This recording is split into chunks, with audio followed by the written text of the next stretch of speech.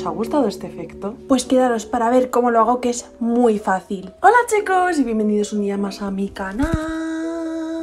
En el vídeo de hoy os voy a enseñar cómo editar vídeos con efecto vintage retro con el ordenador. Pero, pero, pero, pero, pero, pero lo primero de todo, si no estás suscrito o suscrita a mi canal, te invito a que te suscribas, que le des al botoncito que es gratis y no cuesta nada y te unas a mi canal. Y por cierto, si queréis que os enseñe apps para editar vídeos pero con el móvil, solo tenéis que decírmelo por comentarios o dejándome un like. Tengo muchos más vídeos de este estilo, pero os enseño cómo editar fotos en estilo vintage, analógico, retro, así que os los dejo por aquí arriba para que les echéis un vistazo que están muy guays. Los vídeos los voy a editar con un programa que se llama Filmora, que es con lo que edito siempre los vídeos de YouTube. Me encanta ese programa, así que no me voy a enrollar más y empezamos.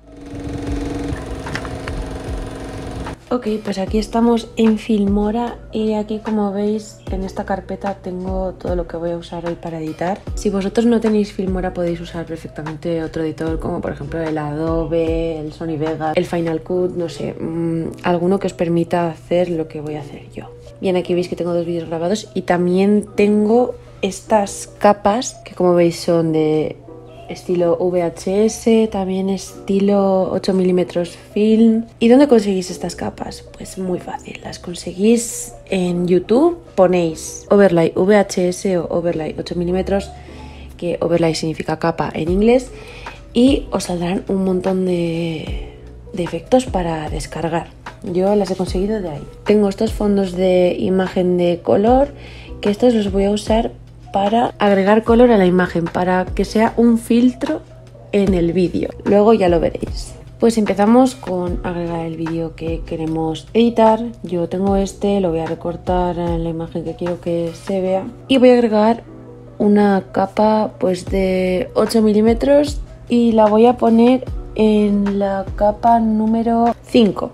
La dejamos ahí arriba. Porque esto ya veréis que es ir editando por capas. Selecciono también la parte que quiero que salga de este efecto. Como veis este está muy chulo, tiene hasta el sonidito y me encanta. Como veis tenemos ya los dos vídeos, pero solo se ve la capa primera puesta. Pues muy bien, lo que tenéis que hacer es darle doble clic, le dais a composición y ahí donde pone modo difusión os aparecen un montón de modos, oscurecer, multiplicar, también hay aclarar, pantalla, tal, vale, pero en este tenéis que darle a oscurecer o a multiplicar, es donde mejor se va a ver el efecto, donde mejor se ve la imagen y donde queda también ese filtro para que le dé ese efecto vintage. Y bien, ya tenemos esto fusionado, así que lo que ahora vamos a hacer va a ser recortar la imagen, que obviamente este tipo de vídeos de formatos antiguos tienen un formato pues más cuadrado.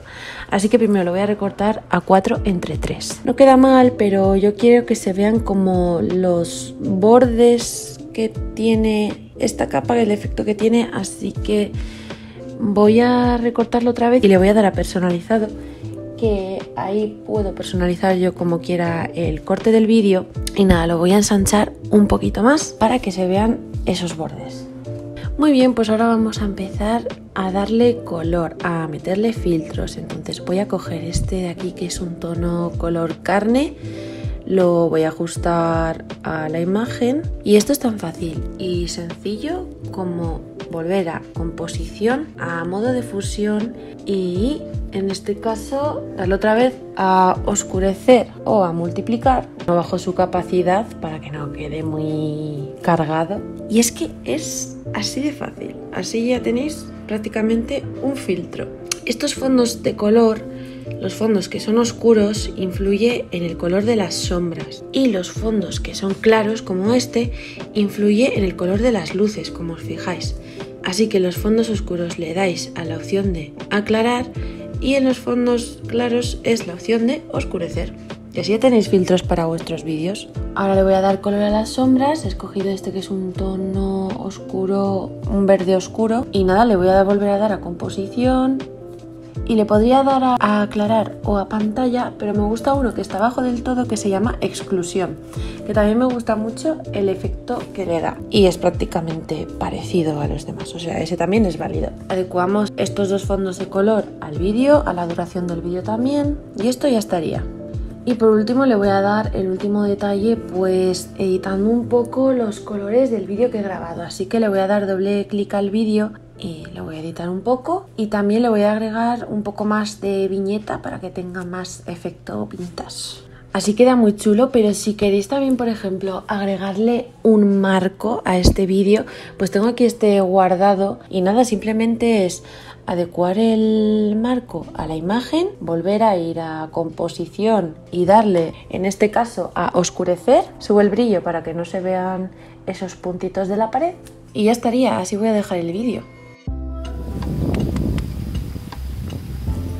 Ok, pues ahora vamos a pasar al siguiente que esta vez va a ser con una capa de VHS. Vamos a hacer lo mismo prácticamente que en el anterior vídeo. Voy a añadir el vídeo que quiero, recortarlo en la parte que yo quiero que salga, añadir la capa de VHS, en este caso esos bordes no tienen nada que ver, así que los voy a recortar para que no salgan. También voy a recortar el vídeo para que quede adecuado a la capa. Le damos doble clic a la capa y esta vez como veis que la capa es oscura, es lo que os he dicho, vamos a ir a la sección de aclarar. Y estoy mirando entre estas cuatro opciones de aclarar pantalla, sobreexponer color y tal, pero la que más me gusta como queda es la de aclarar en esta capa. Ahora voy a empezar agregando el filtro claro que va a ser un tono azul ya que los vídeos VHS tiran bastante a tonos azulados y rosados así que voy a intentar conseguir ese efecto. Y ya os digo es lo mismo que antes adecuarlo a vuestro gusto. Y después voy a agregar el fondo oscuro para darle un poco de color a las sombras que es como un tono marrón verde. Le voy a dar doble clic al vídeo y voy a editar en balance de blancos la temperatura y el tinte. La temperatura la voy a bajar un poco más tirando azulado y el tinte un poco más a rosa. Luego bueno pues los típicos ajustes de subir un un poco el brillo, bajar la saturación y tal. Ya veis que va cogiendo forma. Lo podríais dejar perfectamente así, pero si tenéis más capas de VHS,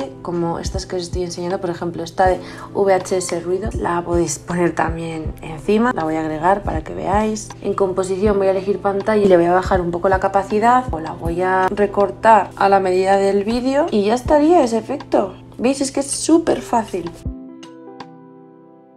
Y hasta aquí el vídeo de hoy, espero que os haya gustado. Si es así, ya sabéis, dejarme un like, suscribiros a mi canal y activar la campanita de notificaciones para no perderos ningún vídeo mío. Comenta y también comparte el vídeo.